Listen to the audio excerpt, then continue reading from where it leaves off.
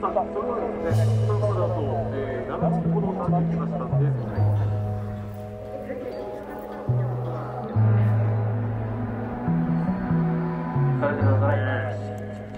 さあ、残り時間が2分を切っています。はい、今日ついに最終戦になりました。はいはい、ここ鈴鹿サーキットなんですけども、はいちょっと今までのちょっと振り返りと、はいえーここに、えー挑む心意気なんかをはい聞かせていただきたいと思うんはい。私からですか？ですが、はい、はい。まあ菅生で最初の2戦をなくし富士で優勝ポルトゥーウィンするものの次のレースで高橋さんにぶつけてしまいまして。そして茂木岡山はですね停滞するというなんかどんな流れになるんだろうというそんな感じで今最終戦を迎えましたそして最終戦鈴鹿を初めてレーシングしましたけれどもめちゃめちゃ速度域が高くておっかないです。安全に走らないとというふうに今思っている次第でございます。いやまああの相変わらずまずはあっという間だなともう最終戦かという思い、があり、えーまああのー うちのあ今年のスーパー GT となんか似たような感じだなと思ってるけども まあ一回優勝できたのは非常に大きかったなとお思うし、まあ、このシリーズ独特のお勝っちゃうとおその後おパワー落とされるんで、その後やっぱ苦戦してみたいなところが、あのーそのまま結果に表れたなと思ってますけれども、まあ、非常にたくさんのおお客様に、えー応援いただいてご支援いただいてラブカーズらしい、えーレース活動おここまでできてきたかなとはあ思っています。で、まあ、本当に泣いても笑っても最終戦なんでね。そうャー。ねまあまあ。ドキドキします。うん、まあでも本当、あのー世界のお著名なあーレーシングドライバーみんな世界で一番大好きなコース鈴鹿っていう人、本当多い、多いですよね。あのーとてもチャレンジングだしあのなんだろう気合い入れて目つり上げてえー歯食いしばって走ってもタイムでタイムが出ないサーキットなんで、はい。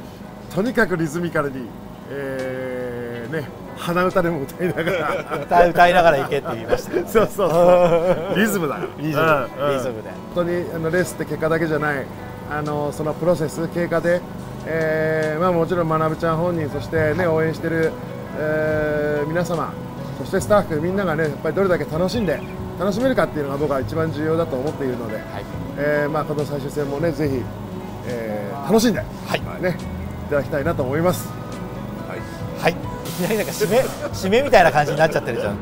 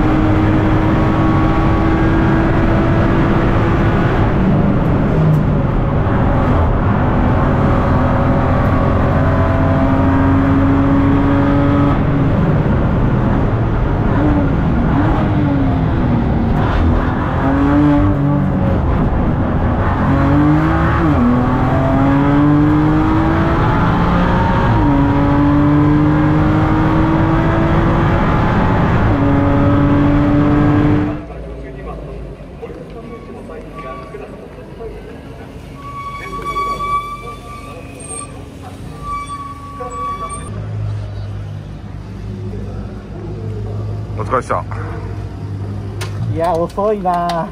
遅い。ちょっと厳しいわ。ああいやっていうかみんな早い。早いね。みんな早い。みんな早いね。めちゃめちゃ早いです。はいやーちょっとね精進が足らないですね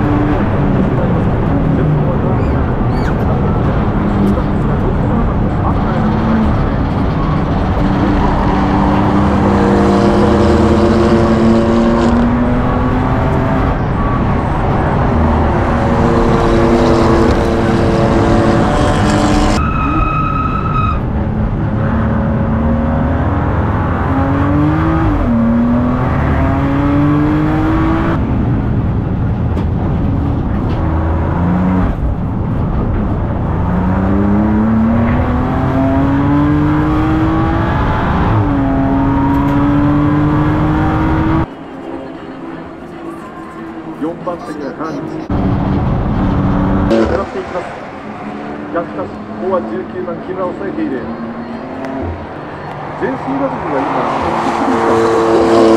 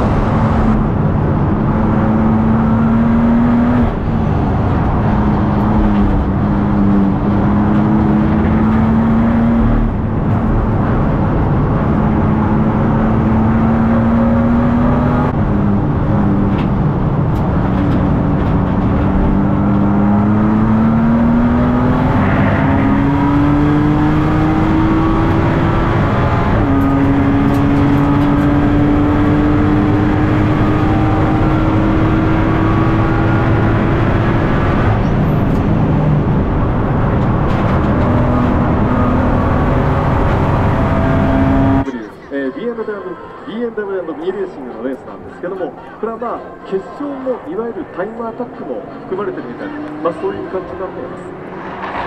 順位もそうですけれども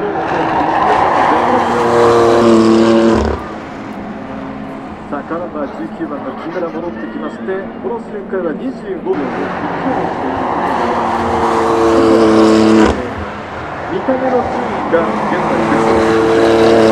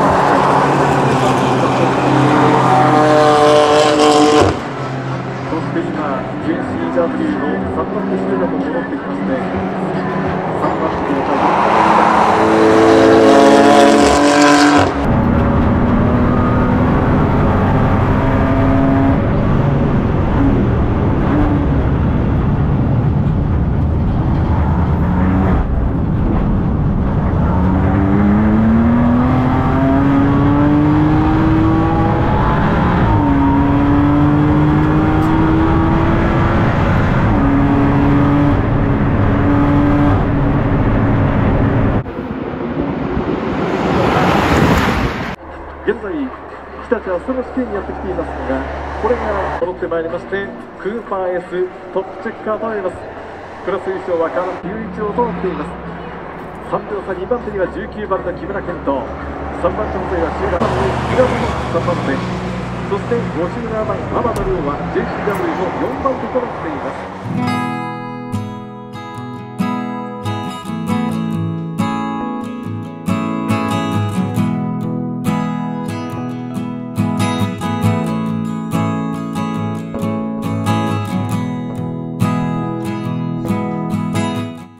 やーとりあえず無事にいやいやいや 終了ということいやいで。やいやいや。すいません、初期の勢いがね、なくなって。